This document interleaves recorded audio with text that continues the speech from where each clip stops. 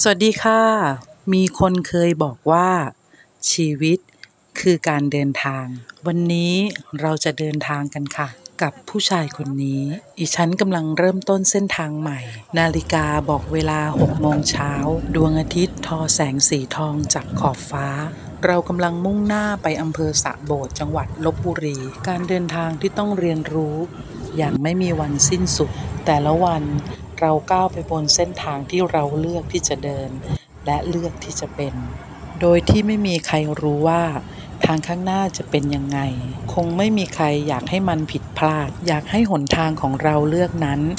สวยงามไปในแบบที่เราคิด บางวันเราก้าวเดินอย่างรวดเร็ว เร็วจนแทบจะวิ่งด้วยความเชื่อมั่น บางวันใจดวงเดิมของเราก็กลับฝ่อเราแทบจะหยุดนิ่ง หมดแรงไม่เข้าใจกับหลาย ๆ สิ่ง ที่ไม่ได้คาดคิดเอาไว้ บางวัน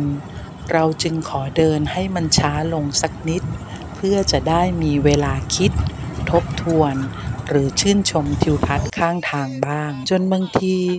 ก็มารู้ตัวว่า เราอาจจะไปผิดทางด้วยซ้ำ หรือสงสัยว่าตัวเองกำลังหลงทางอยู่หรือเปล่า แต่นั่นไม่ได้หมายความว่าเราจะไม่ได้เจอกับทางออก เพราะอย่างน้อย เราก็ลองไปในที่ที่ไม่เคยไป หรือเราอาจจะกำลังไป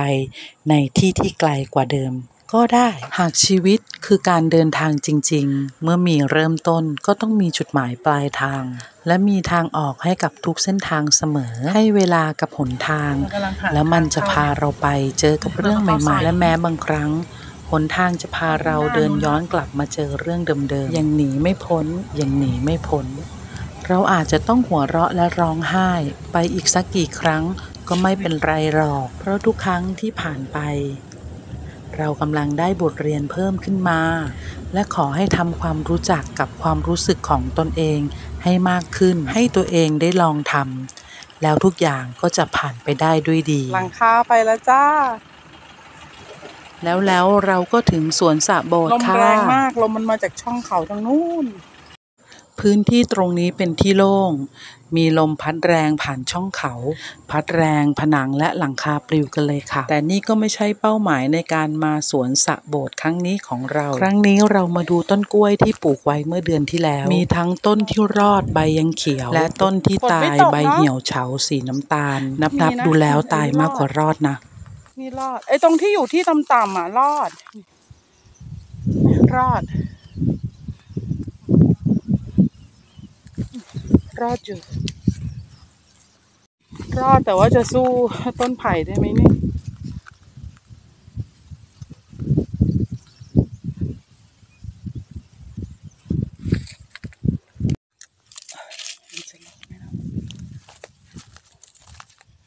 ดูจากสภาพแล้ว ฝนไม่ตกเลยเป็นเดือนนับจากวันปลูก ที่เห็นสีเขียวเป็นกอกอต้นอ้อยนะอึดจริง ๆ มาฟังเสียงในฟิล์มกันบ้างค่ะ มาถึงสระโบสถ์แล้วค่ะ มาถึงก็ลงมาหาน้องกล้วยเลย ก็มีรอดอยู่นะ ดูท่าทางฝนจะไม่ตกทางนู้นก็รอด เขียวรอดแต่ไม่รู้ว่าจะพ้นหญ้าไหมนี่ก็รอดค่ะ รอด รอดหลายต้นอยู่นะ แต่ก็ตายหลายต้นเกินครึ่งนะคะ แต่ที่แน่ๆหญ้าเพียบเลย ดูสภาพคุณผู้ชายของอีฉัน โอเค ขอไปดูบ่อก่อน บ่อน้ำแห้งหมดเลยไม่มีต้นมะพร้าวก็แห้ง มองไปทางขวา บ่อน้ำก็แห้ง ตอนนี้เสียงอีฉันก็แห้ง บ่อน้ำก็แห้งอืมฝนน่าจะไม่ตกเลยเนี่ยฝนไม่ตกเลย บ่อน้ำของเรา เดือนที่แล้วมาน้ำเยอะกว่านี้นะ ตอนนี้หญ้าเพียบ ตรงนี้เป็นลำห้วย ลำห้วยก็น้ำไม่มีค่ะนั่งเลยด้วยนี่ต้นไทรในสภาพขาดน้ำแบบนี้ ต้นไทรยังยืนต้นใบสีเขียว แต่ใบก็เหี่ยวแล้วนะคะ มองตามแนวลำห้วย จะเห็นต้นไผ่ปลูกอยู่สามกอไว้ริมห้วย คุณคิดว่าต้นไผ่จะรอดไหมคะรมีอีกสองต้นอยู่ตรงนี้ค่ะ ไหวเนี่ยนั่นสิจะไหวไหมเนี่ยสมาธิ ไปเดินดูต้นกล้วยให้ชัดๆอีกสักทีค่ะ สถานีอุตุนิยมวิทยาลบบุรีประกาศว่า มีกลุ่มฝนความแรงขนาดปานกลาง เคลื่อนตัวจากทางทิศเหนือเข้าสู่จังหวัดลบบุรี โดยจะเคลื่อนผ่านอำเภอหนองม่วงอำเภอสะโบดอำเภอชัยบาดาลเป็นอันดับแรก คงจะเป็นเช่นนั้นจริง ฝนมันเคลื่อนผ่าน มันเลยไม่ตกปลีกตัวจากต้นกล้วยไปดูห้องน้ำเราดีกว่า ขนน้ำใส่ถังมาจากปทุมธานีกันเลยเชียว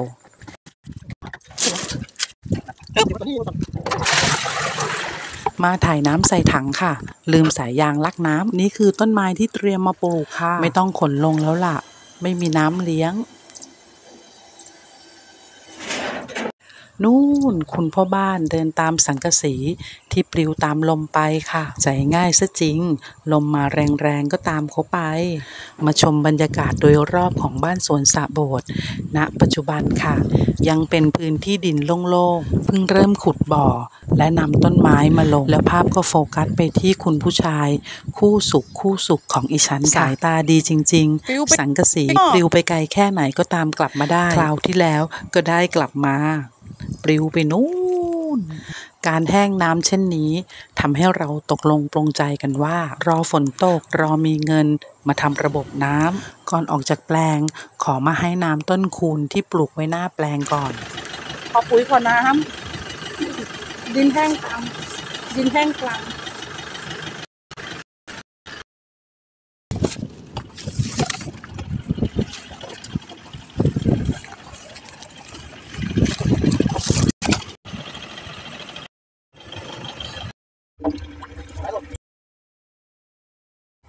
ก่อนเดินทางกลับบ้าน เราไปชมอ่างเก็บน้ำจมูกแขกที่อยู่ข้างๆ แปลงเราค่ะ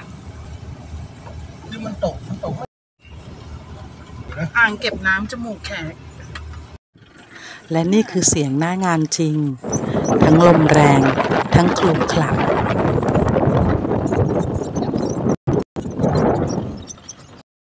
เราออกจากอ่างเก็บน้ำจมูกแขกมาแล้วค่ะ เข้าสู่ถนนทางหลวงชนบทแวะทานก๋วยเตี๋ยวเรือห้อยขาที่ชัยบาดาลกลัวเขาไม่เชื่อว่าห้อยขาจริง มาดูกันค่ะห้อยขาจริง ๆ